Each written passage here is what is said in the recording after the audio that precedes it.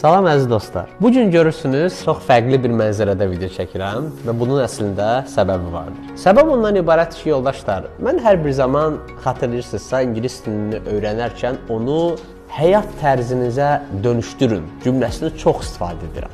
Bunu əbəs yerə istifadə etmirəm yoldaşlar. Çünki mən baxıram ki, xüsusilə son ə, bir neçə ildə, hətta mənim İngiltərədə oxuduğum dövrlərdən də öz tələbə yoldaşlarımla da ev tutanda həmişə görürdüm ki, onlar yəni süfrə arxasında olanda, çay içəndə, yemək yeyəndə və s.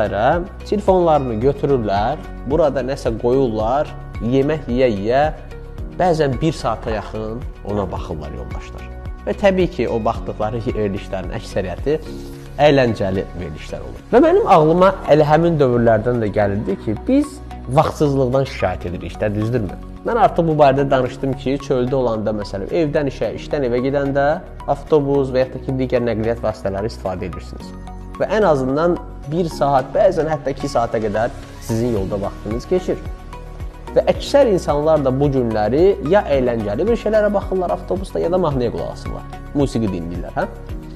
Və bunu əslində özlərinə bir bəraət kimi, sanki yorulmuşam, başqa heç bir şey edə bilmərəm kimi təqdim edirlər. Amma əslində belə deyil yoldaşlar. Mən xatırlayıram yenə də hər zaman avtobuslarda bax bu alətin köməkliyi ilə, yəni naushnik dediyimiz qulaqcığın köməyi ilə daima ingilis dilində qulaq asardım. Qaydaq gəlin mətbəximizə.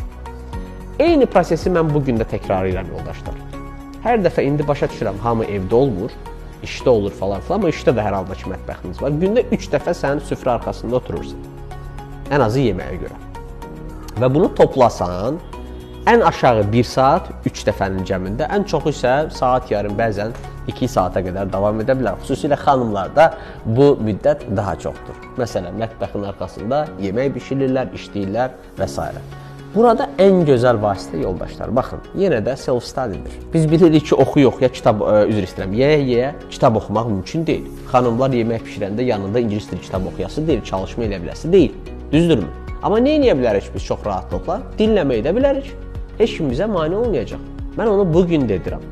Hər dəfə süfrə arxasına oturanda nəsə yeyəndə qulağımda qulaqcıqla nəyəsə qulaq asıram. Və bəzən o qədər maraqlı olur ki, qulaq asdırma o ingilis dilində material, yeməyi bilə-bilə bir qədər gecikdirirəm yoldaşlar. Və son dövrlərdə mənimlə self-study ilə çalışan, xüsusilə evdar xanımlar əksəriyyəti bunu deyir ki, Orxan müəllim, öncələr bəli bizə də qəribə gələrdi. Necə yəni iki işi eyni zamanda görmək? Yəni axı bizə həmişə belə başa salırlar ki, dərs, təhsil ancaq bağlı qapılar arxasında olmalıdır, sakitçilik olmalıdır, heç kimsə toxunmamalıdır. Otaqda girməlisən, ingilis dilini öyrənmək üçün kitabı vərəqləməlisən, çalışmaq istəməlisən. Yox, yoldaşlar. Müasir təhsil o təhsil deyil. Bax o xanımların da dediklərini təsdiqləyərək mən sizə deyə bilərəm ki, onlar artıq 3 aydan sonra deyirlər ki, özləri deyir ki, biz artıq yəni bu assosiasiya deyirik də beyində, yəni hansısa bacarıqla o biri bacarığın beyin birləşdirir. Məsələn, bayaq dedim ha, bu günləri mətbəxə gedəndə əksər gənclər yanında bir əyləncəli veriliş qoyur. O olmasa yemək yeyə bilmir. Yəqin ki, sizə bu tanışdır.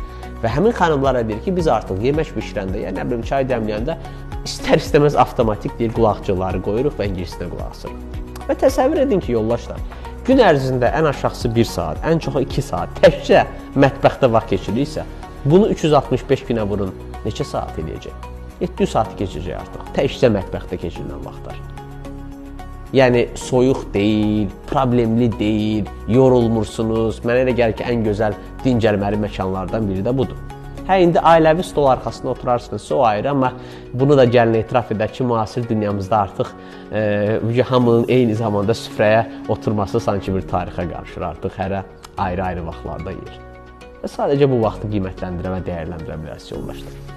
Burada əsas vermək istədiyim mesajlar yoldaşlar. Bax bu Mətbəx misalı sadəcə bir misaldır. Avtobus ikinci misaldır. Mən demək istəyirəm ki, bu günləri sözün əsl mənasında bizim vaxtın azlığından şikayətlənməyimizə haqqımız yoxdur. Biz sadəcə olaraq doğru strategiya, texnika, taktika, metodu tapdığımız zaman ondan sonra görəcəksiniz ki, hara gedirsiniz gedin, özünüz də ingilis dili öyrənmə prosesində daşıya bilərsiniz. Və bunun adı self study'dir. Yəni özün özünə öyrənmək. Hər birinizə uğurlar.